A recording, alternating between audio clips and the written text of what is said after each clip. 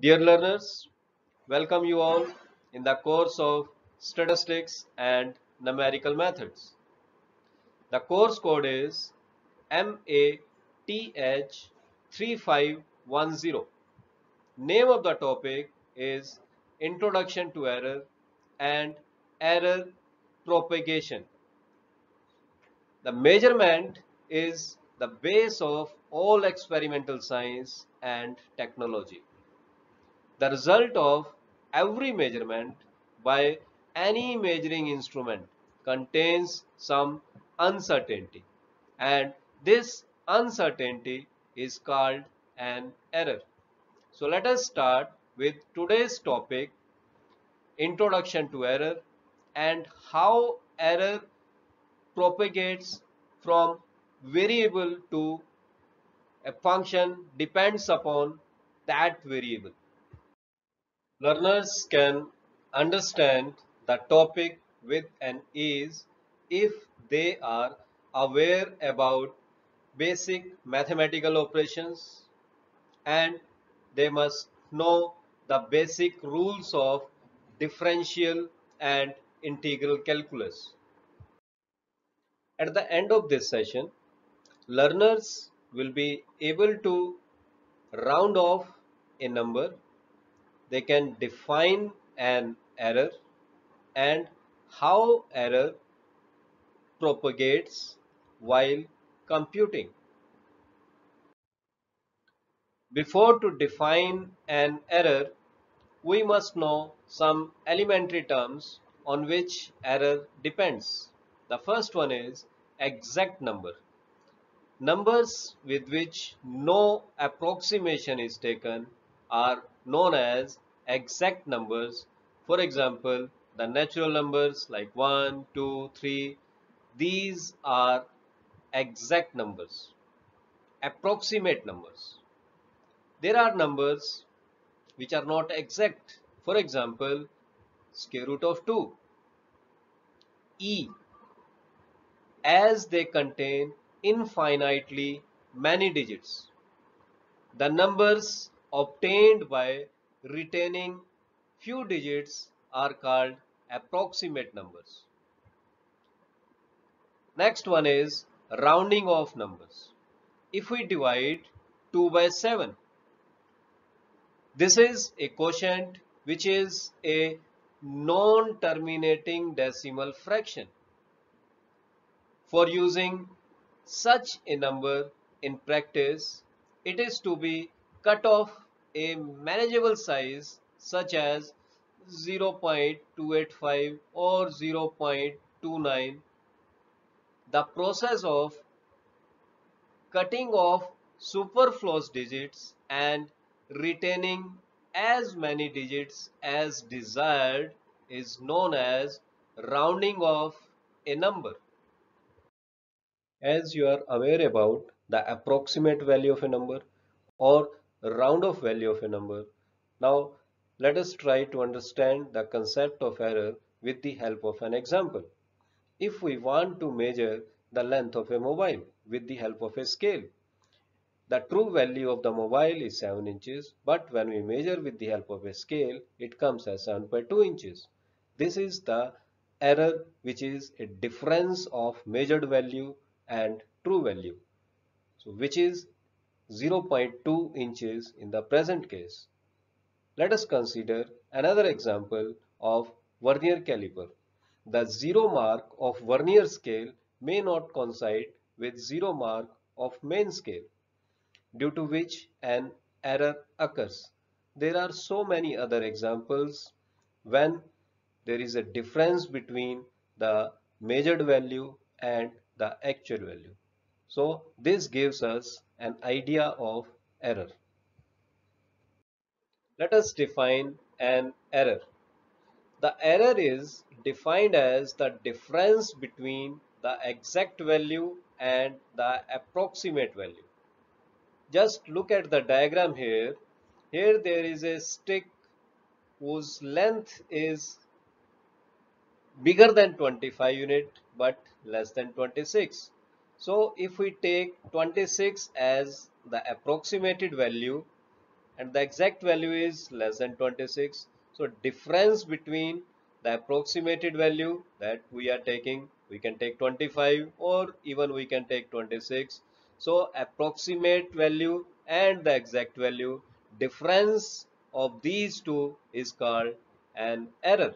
So this difference means error it can be negative or positive so so to avoid the negative sign we can consider the absolute error.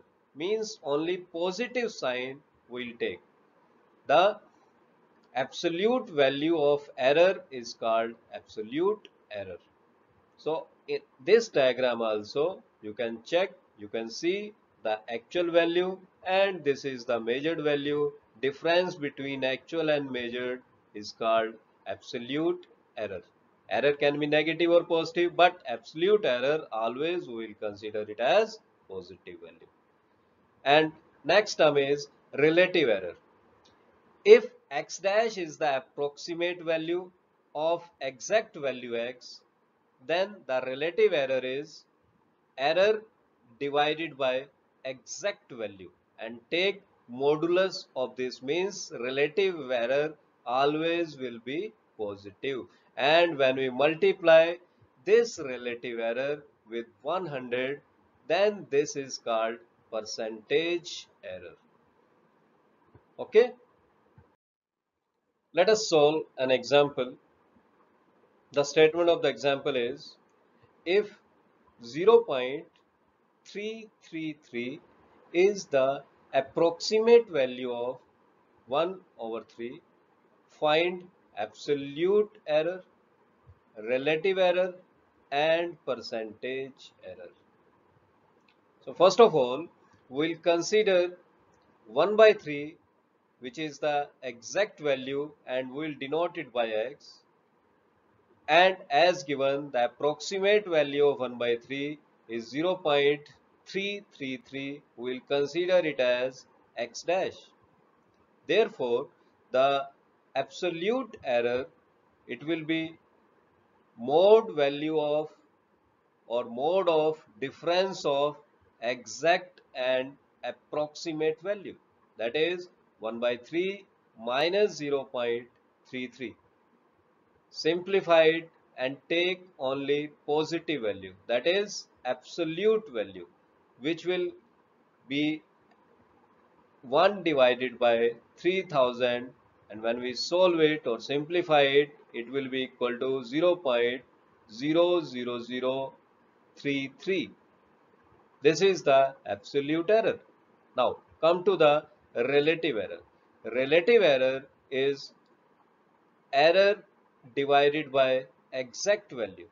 The error is 0.00033 divided by the exact value 1 by 3 and when we simplify it the result will be 0.00099 and the third one is percentage error.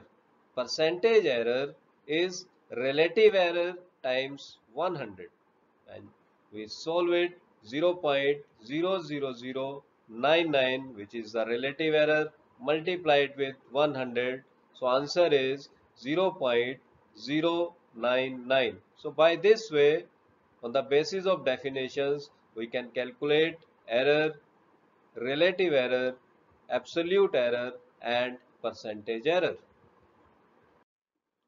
Types of errors. The first one is inherent error. Errors which exist in the problem itself. For example, if we consider the area of a circle which we know that is pi r square. And for calculating the area of a circle, we are using the approximated value of pi which is 3.14. Because we are using the approximated value of pi, therefore some error will occur due to this approximated value and such type of error is called inherent error. Next one, the round of errors. As name suggests, the error arises due to rounding off the numbers during the process of computation. For example, if we have a number which is too big after decimal points, so we can approximate it or round it up to 3 or 4 decimal places. This is the exact value and we are considering the approximated value 8.2676 so difference between the exact and the approximated value is called the round off error. Next one is truncation error. Truncation error arises by truncating the infinite series to some approximate terms. For example, we know that the expansion of cos x is 1 minus x square by 2 factorial plus x4 by 4 factorial minus x6 by 6 factorial plus x8 by 8 factorial and so on up to infinite. But we are using up to 3 or 4 terms means we are truncating the series up to 3 or 4 terms. So error occurs due to truncating the series is called truncation error. Propagation of errors. By propagation of errors, we mean an error occurring in the succeeding steps of a process due to the occurrence of an earlier error. Suppose we are given two numbers and these numbers contain some errors. Then by performing any mathematical operation on the numbers, the resultant will also be erroneous. If we have a function of one or more independent variables and if there exists any error in independent variables, then the dependent variable will also be affected due to accumulation of errors. This process is called as propagation of errors. Now let us consider y is a function of two independent variables x1 and x2 and if delta x1 and delta x2 be the errors in the values of x1 and x2 then the error in value of y will be given by y plus delta y equal to f x1 plus delta x1 x2 plus delta x2 now we can expand it by Taylor series which is equal to function at x1 x2 plus partial derivative of the function with respect to x1 into delta x1 plus partial derivative of the function with respect to x2 delta x2 and we can neglect the higher powers of delta x1 and delta x2 because these are very small. So its squares and cubes we can neglect.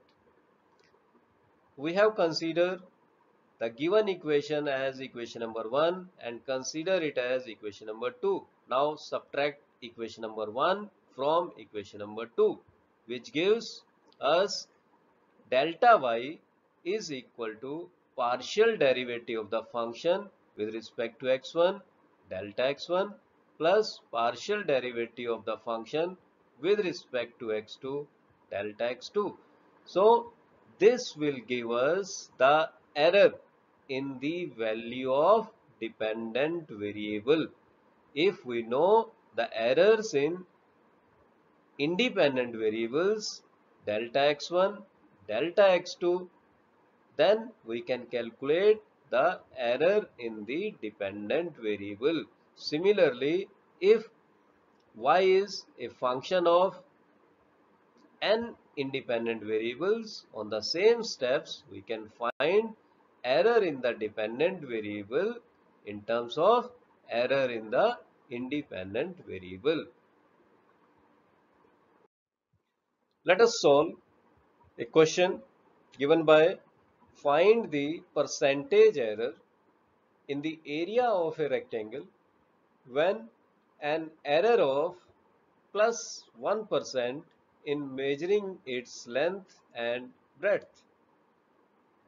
Let us consider A is the area of a rectangle whose length is x and y be the breadth.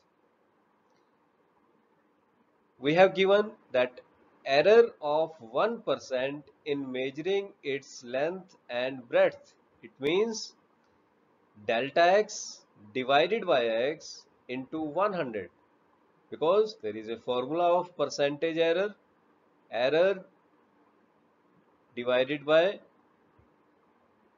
exact value into 100 so delta x divided by x into 100 is equal to 1 similarly delta y divided by y into 100 is equal to 1 these two values are known to us now, we have to calculate the percentage error in the area of a rectangle.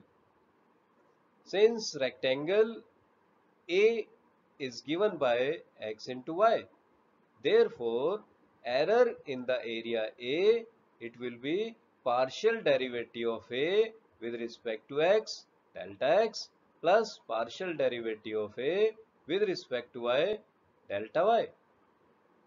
Right? Now when we differentiate a with respect to x we will get y. And partial derivative of a with respect to y it will be x. Now what we will do? Divide on both sides with a a is the area of a rectangle so dA divided by a on the right hand side in place of a we can substitute xy. So y delta x divided by xy y will cancel with y it will remain as delta x divided by x and when we write xy in the denominator of x delta y we will get delta y divided by y. Multiply on both sides with 100 on the left hand side, it will be dA divided by A into 100 is equal to delta x divided by x into 100 plus delta y divided by y into 100 and delta x divided by x into 100 value is equal to 1. Similarly, delta y divided by y into 100 value is 1. So 1 plus 1, 2. It means percentage error in area of a rectangle is 2%. Here are some questions for your practice based upon the topic discussed here.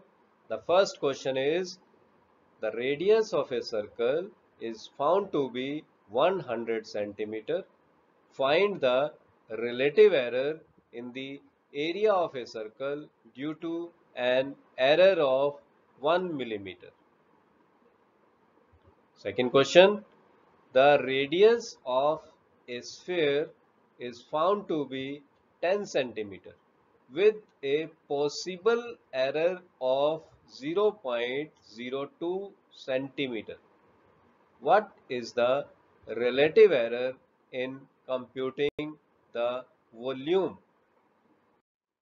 for more study and practice, learners can go through the mentioned references. Thank you very much for your patience. Have a great learning.